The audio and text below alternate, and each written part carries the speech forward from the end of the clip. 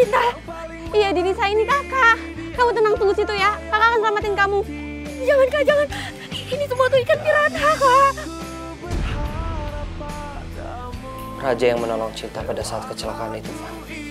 Dan untuk menebus hutang nyawanya kepada Raja, Cinta menikah dengan Raja. Enggak!